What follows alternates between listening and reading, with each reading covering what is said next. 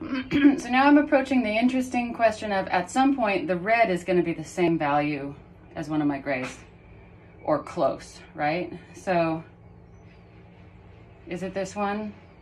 It's really hard to tell when it's a strong, strong color like that. It's really hard to tell.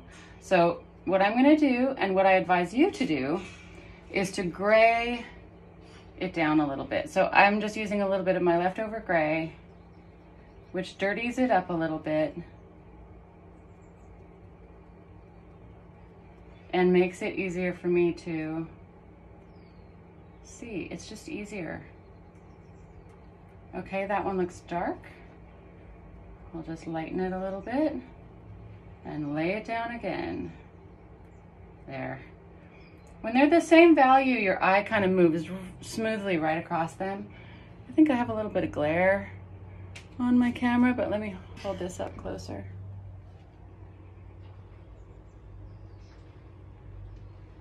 So this is extremely useful in paintings because you can have a simple value pattern, but you can divide value from itself with color and get a strong painting that still works in a simple sense and reads well, but has more interesting stuff going on because it has color.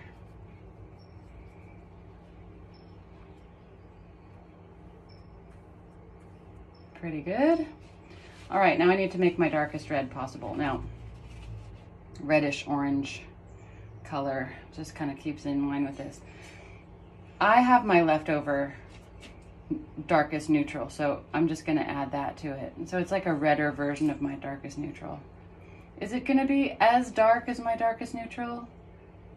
Really, no, because the cadmium red light is lighter than my darkest neutral. But I'm okay with that. See that interval and that interval? Pretty good pretty good.